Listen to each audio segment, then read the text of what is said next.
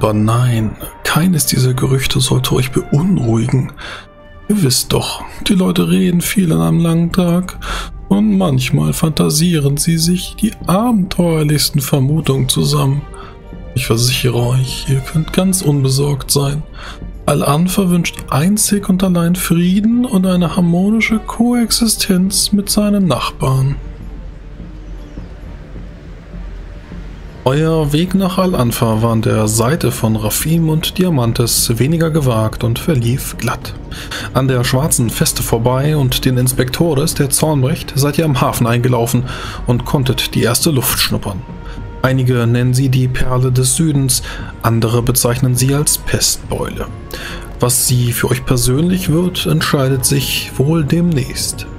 Zwar ist die Landschaft mit dem schwarzen Vulkan und den weißen Häusern atemberaubend schön, der Regenwald schreit euch mit den Tieren entgegen und das Meer rauscht munter unter euch, doch Sklaven findet ihr überall.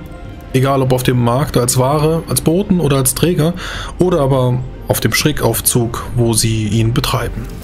Die Feste der Basaltfaust ist einschüchternd, genauso wie ihre Krieger. Die Villen der Granden sind monumental.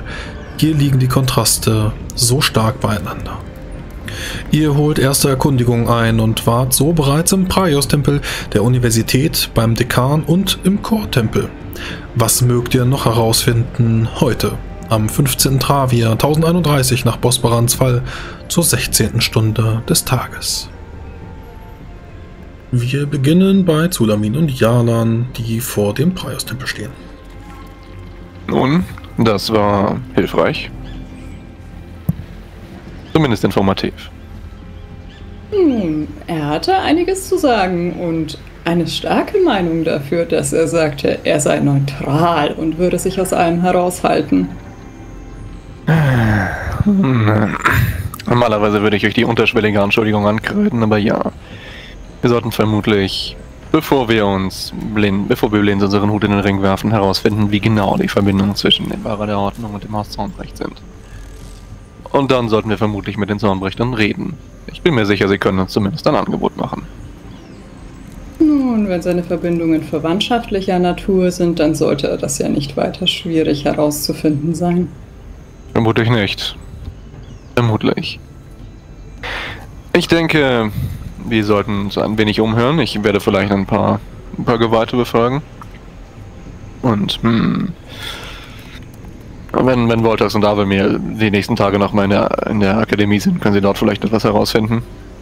Es sollte nicht weiter schwierig sein. Was meint ihr, da wir gerade in der Nähe des Hafens sind? Wollen wir vielleicht sehen, ob wir den Effert-Tempel finden und wegen dieses Rochentierkönigs fragen? Hm. Wir sowieso auf dem Weg sind, sicherlich. Ich denke nicht, dass wir viel herausfinden werden, aber nun Fragen kostet nichts. Nun, und Effort für die ruhige Herreise danken kann nicht schaden. Und wir haben überall auf dem Weg gefragt, wo wir die Möglichkeit hatten. Vielleicht finden wir unsere Antworten ja in Al-Anfa.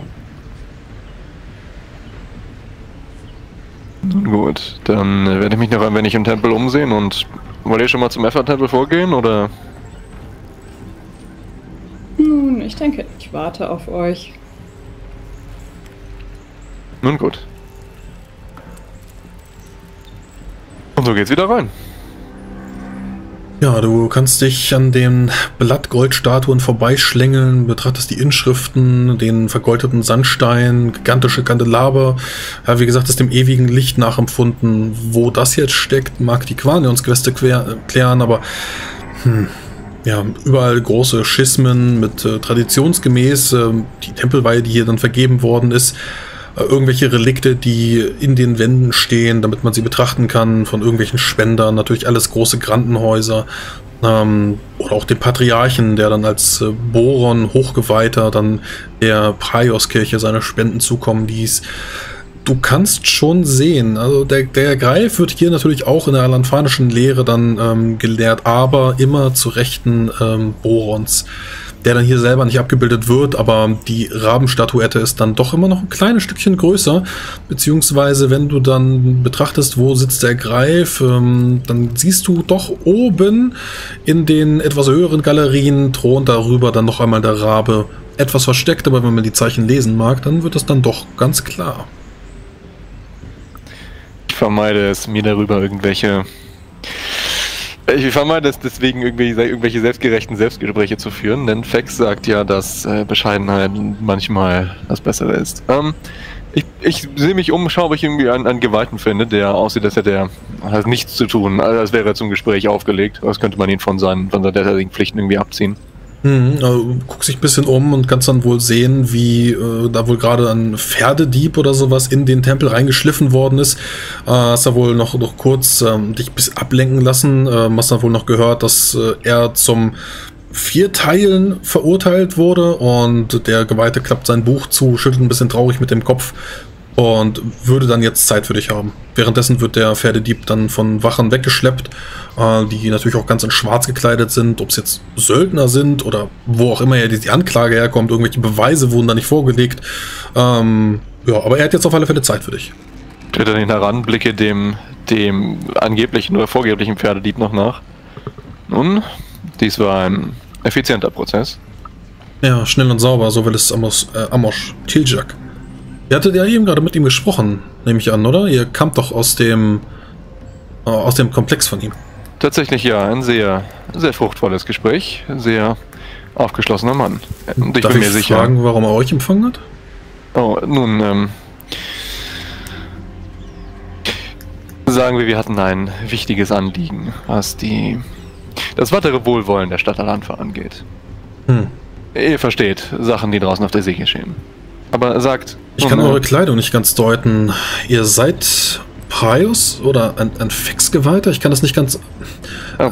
so sehr fern, wie sie voneinander liegen, aber Nun, äh, ihr wirkt mit zielspältig. Die Diener Prius haben mich geweiht.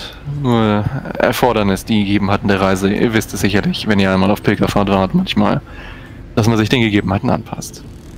Nun, aber dafür werdet ihr in Gareth sicherlich verbrannt. Äh, hier allerdings. Äh, nun, kann ich euch helfen? Nun, deswegen bin ich zu euch. Ich wollte den Fahrer der Ordnung selbst mit solchen Dingen nicht belasten. Was heißt belasten? Belangen. Ich hatte gehofft, da ich doch neu in der Stadt bin, ihr könntet mir ein wenig über über die örtlichen Gepflogenheiten. Ich, ich, blicke dabei ein wenig auf die auf die irgendwie Rabenstatue, die, die am Ende des Tempelraums steht. Äh, erzählen auch über die Krankenhäuser, mit denen ich, wie ich denke, noch ein oder zwei Gespräche führen müssen werde. Ja, ihr wisst schon, wie, wie sind sie so? Was kann man über sie sagen? Wollt ihr die Wahrheit hören oder das, was man gebietet, über die Granten zu erzählen? Sie sind selbstverständlich großzügig, gnädig, volksnah. Er redet dabei ein bisschen lauter, kannst du hören.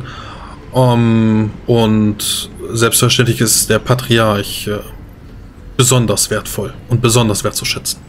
Nun, der Herr Praus liebt die Wahrheit und ich fürchte, meine Anwesenheit in der Stadt bedingt es, dass ich weiß, wo sie stehen. Dann sollten wir uns eventuell äh, nicht hier unterhalten, sondern beim kühlen Bier in einem beliebigen Gasthaus. Aber sicher doch, aber sicher doch. Sagen wir nach der Abendmesse? Nach der Abendmesse. Hervorragend. Ich lasse mir von ihm dann eine kurze Wegbeschreibung geben. Ähm, eine, ein Straßenblock weiter von hier befindet sich das Bordell Siebenspiegel. Ich hoffe, das ist für, für euch ja, in Ordnung. Ja, ich verkneife mir irgendwie einen überraschten Blick, aber selbstverständlich doch. Niemand ich würde mich sicher. in einem Bordell erwarten. Hervorragend. Nun, dann bin ich doch sehr gespannt bereits. Ihr nickt. Dann ziehe ich mich mit Blick auf vermutlich den nächsten zu verurteilen, der schon langsam, äh, der schon irgendwie in den Seiten auf seinen, auf seinen Prozess wartet, äh, auch zurück. Und deswegen ist der Großexekutor Perwal, Irschan Perwal, einer der besten. Ja, er redet weiter und, und lobt dabei äh, etwas lauter, damit es dann eben auch für Umstehende äh, zu hören ist. Ja, verschiedenste einflussreiche Persönlichkeiten und äh, ob das jetzt Granden sind, bist ja nicht ganz sicher. Hast jetzt von, von Perwal noch nicht so viel gehört, aber Großexekutor, das muss halt irgendjemand Wichtiges sein. Dann suche ich draußen Sulamin, die vermutlich auf dem Platz noch rumhängt. Hm, Ach, da seid ihr. hat sich in der Zwischenzeit äh, jemand etwas weniger wichtiger, äh, wichtig aussehenden gesucht. Vielleicht einen Akolyten oder so. Ah ja, Ehren. Oh, hallo. Was, was meint ihr? Wo finde ich in dieser Stadt einen Aves-Geweihten? Ein Aves-Geweihten? Hm. Mit Aves habe ich nicht so viel zu tun. Ähm, vielleicht draußen vor der Stadt? Also Wisst da. Ihr, Kann, kann ich mir gut vorstellen, dass da draußen ist ein paar reine Tempel, glaube ich, aber ich war da noch nie draußen. Ich habe die Stadt noch nie verlassen. Warum hm. auch? Also gibt es keinen bekannten Tempel. Oh, also ich weiß, im Süden von hier ist ein Swafnir-Tempel und ähm, neben dem Effa-Tempel ist auch noch einer von Rohr und Gror. Avis, ah. Avis, Avis, Avis. Ähm, vielleicht im Fex-Tempel. Äh, Fex und Avis sind doch irgendwie miteinander verwandt, oder? Aber ja. Aber wenn ihr euch äh, nicht sicher seid, dann werde ich es wohl als erstes im Tempel seiner Mutter versuchen. Immerhin ist sie auch meine Göttin. Aber äh, er ist verwirrt. also er, er, sieht, er sieht dich offensichtlich und äh, wenn du so ein bisschen an deiner Kleidung runterstreichst, bleibt, dein, bleibt sein Blick vor allem an deinen Brüsten kleben äh, und weniger dann an deiner Raya-Tracht. Also er, er, verbindet dich gerade nicht mit Raya. Er steht einfach am Schlauch. Hm, Zulamin lächelt nur fein und meint, aber ihr sagtet etwas vom Effort-Tempel. Ähm, wenn ich zum Portal hinausgehe, äh, in welche Richtung? Hm, immer die Straße runter. Ähm, wenn ihr am Perlenmarkt seid, dann seid ihr schon. Ich würde einfach am Hafen entlang gehen in Richtung Süden und irgendwann öffnet sich dann, äh, irgendwann öffnet sich dann die, die, die ganzen Lagerhäuser und dann könnt ihr dann zu eurer Rechten, könnt ihr dann an dem großen Brunnen vorbeigehen. Das ist das mit dem, mit dem blau-goldenen äh, Dach. Hab Dank. Ihr habt mir sehr geholfen. Raja mit euch. Äh, Praios mit euch. Wenn du dich um, äh, umdrehst, kannst du noch äh, seinen, seinen Blick auf dem Hintern spüren. Es sei ihm vergönnt. Wie gnädig. Ja, dann kannst du sehen, wie auch Jalan sich gerade von dem anderen äh, Praios-Geweihten abwendet und dich sucht. Jalan, da seid ihr ja. Er dreht sich halb erschrocken um. Oh, da seid ihr. Ich, ich hatte auf dem Platz. Nun gut, gehen wir erst einmal. Ich habe nach dem Weg zum Effa-Tempel gefragt. Ah, hervorragend. Das habe ich tatsächlich vergessen. Nun, ich hätte hier draußen gefragt. Egal. Hm, ich, wir haben einen Gesprächstermin mit jemandem.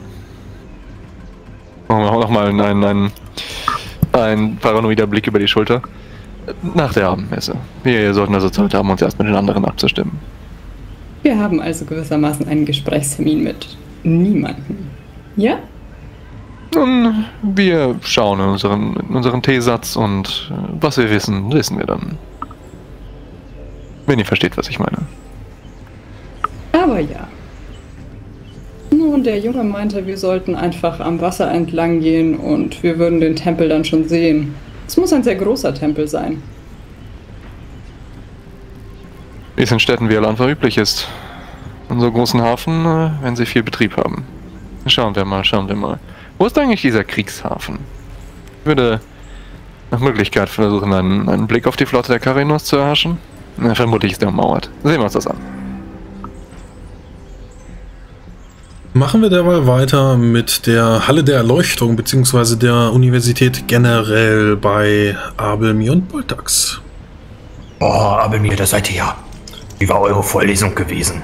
Ach, langweilig. Ihr Leben sind so dumm. Ich habe vergessen, wie es ist, einen Lehrbetrieb äh, zu besuchen. Also Sie sind in der Tat ein wenig undiszipliniert. Da muss ich euch äh, recht geben. Ah, sehe da nicht viel Potenzial. Ich wäre wohl 10, 20 Jahre daran, sie zu ordentlichen Elementaristen zu formen. Aber naja, ich habe ja die Zeit.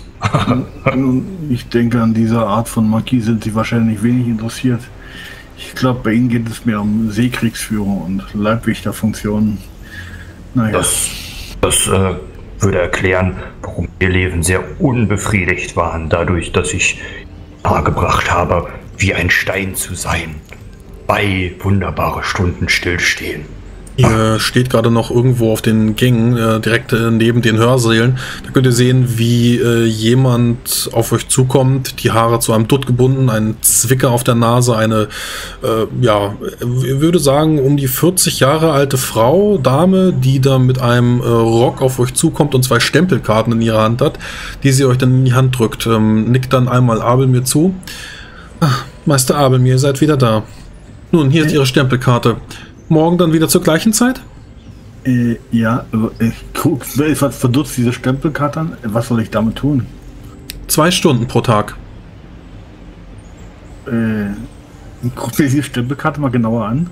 Ähm, ja, es ist Esperanza Rodriguez. Du hattest die damals kennengelernt ähm, als äh, Fakultätssekretärin. Das ist halt diejenige, die dir damals äh, 1026 deine Expedition äh, mitorganisiert hatte. Sie war zwar selber nicht mit dabei, hatte dann wohl aber bei der Basaltfaust für dich angefragt äh, und äh, vertritt dann wohl eben auch vor allem in organisatorischen Dingen dann Dirion Dirial von Zornbrecht Lumarion, die Spektabilität.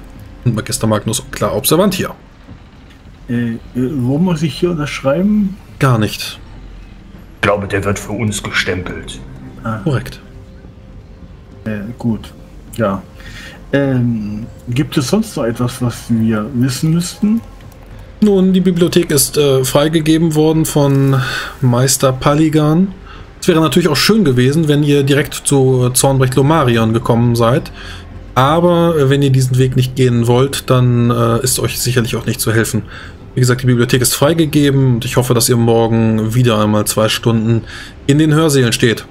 Oh, äh, das äh, wussten wir nicht, dass wir zu Herrn Zornbrecht hätten gehen müssen. Wir waren am Eingang und wurden direkt zu äh, dem Dekan verwiesen. Ähm, Nun, Meister Abelmir weiß von ihm und dass äh, der Dekan doch äh, ganz gerne von den Eigenschaften dieser Akademie ausgeschlossen wird. äh, inwiefern das, ähm, verzeiht mir, ich bin nicht so in diesem akademischen äh, Betrieb mit drin.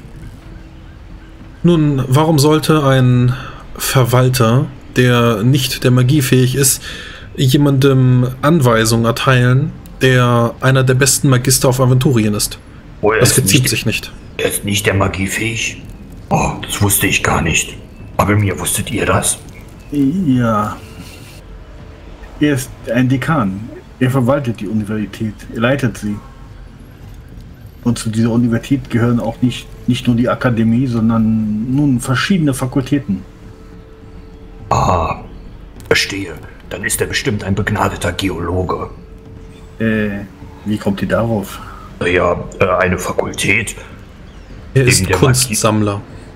Damit Ja. dreht sie sich wieder um, schiebt nochmal ihren Zwicker zurecht und äh, verlässt dann mit ihrem äh, Rock wackelnd durch den Gang euch und lässt euch wieder vor den äh, Hörsälen zurück. Äh, Boltax, eine Fakultät ist ein, eine Abteilung, könnte man sagen. Kein Stein. Ja, ja, natürlich. Aber gibt es denn keine äh, Abteilung für Geologie? Das ist doch die wichtigste Wissenschaft überhaupt. Äh, nein, Steine werden hier nicht gesammelt. Warum nicht?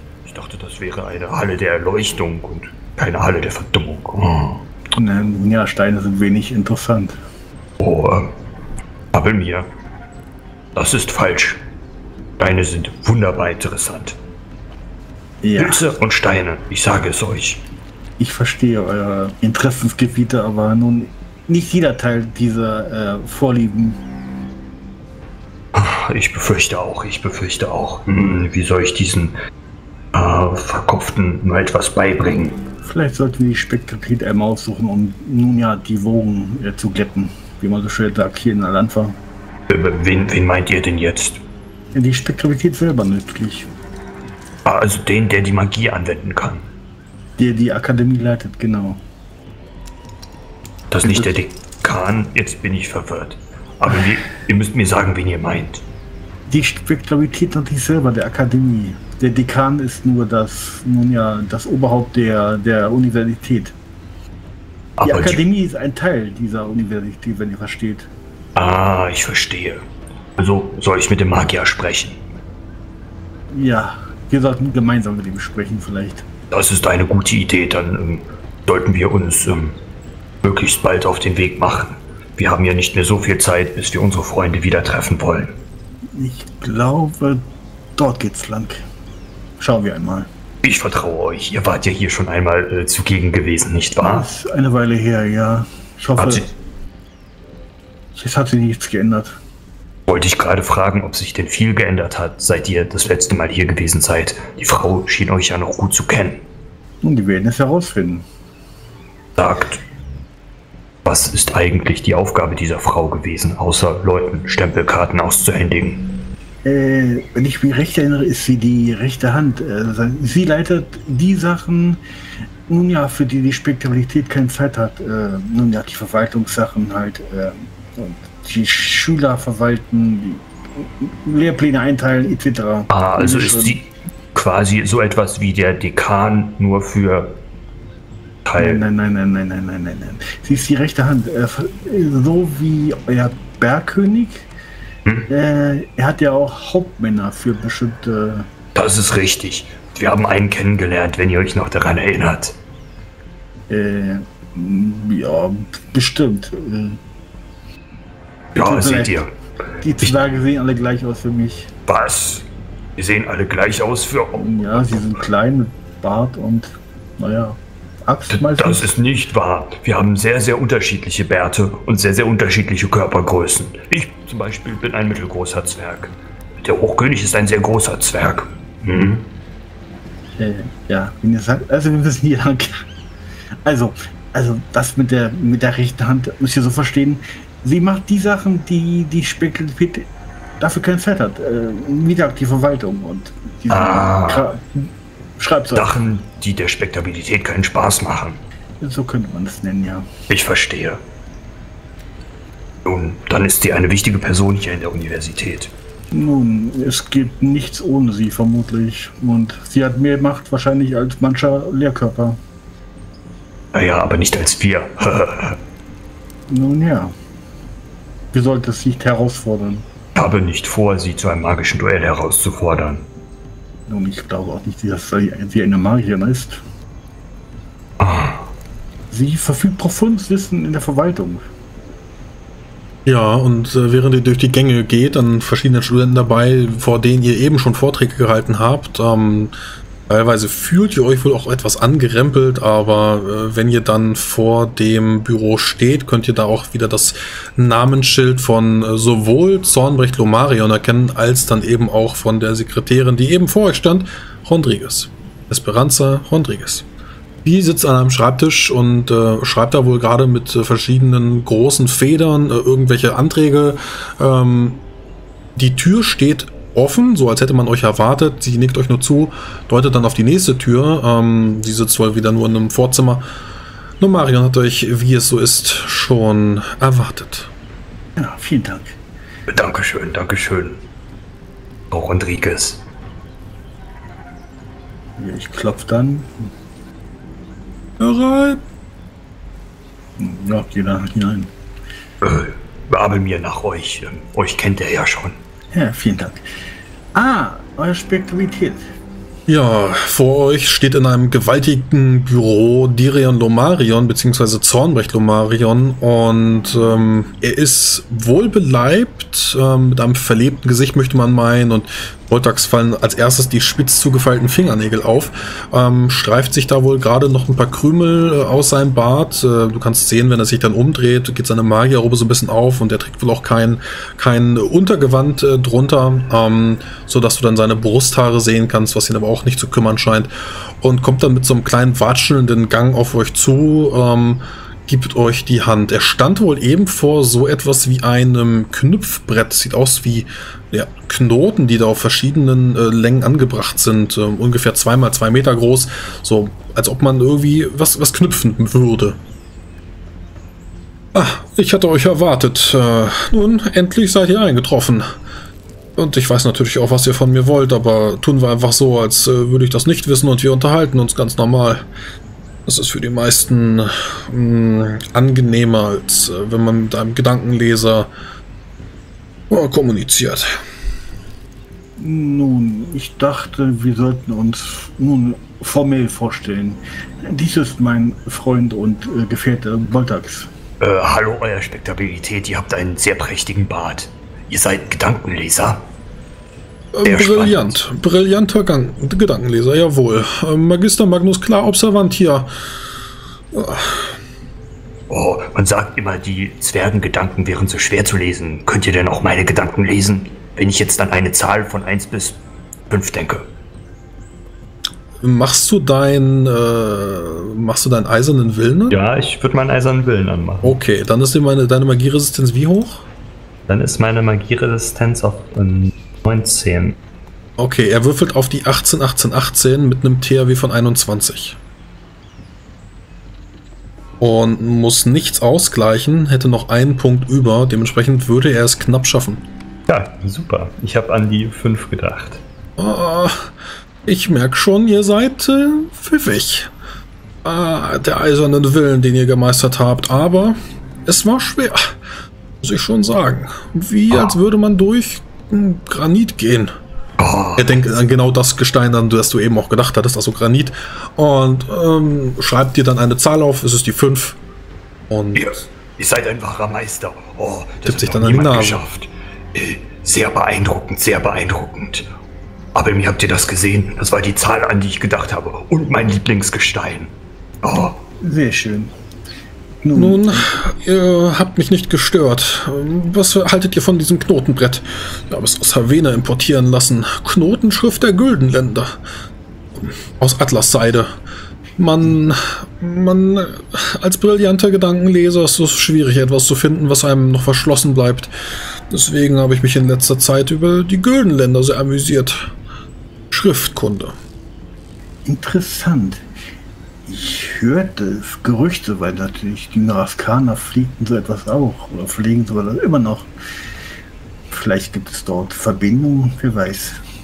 Nun, das wage ich doch äh, wohl zu bezweifeln, aber kommen wir doch zu eurem Anliegen. äh, ja. Aber mir würdet ihr. Nun, wir wollten uns natürlich erst einmal äh, formell vorstellen und ähm, nun ja, ähm, wir bräuchten tiefere, einen tieferen Zugang zur Bibliothek. Ihr wisst schon, zu den Sachen, die für die normalen Adepten nun ja verschlossen bleiben. Nun, äh, Esperanza sagte wohl, dass ihr diesen Zugang bereits habt. Allerdings wart ihr nicht bei mir, sondern habt das Ganze bei dem Dekan Auftrag gegeben. Aber Ja. mir. Und das, wo Nun wir ja. so gute Freunde sind. Nun ja, ein Versehen. Aber der Dekan fing uns ab, bevor wir nun ja euch aufrufen konnten. Ist das so?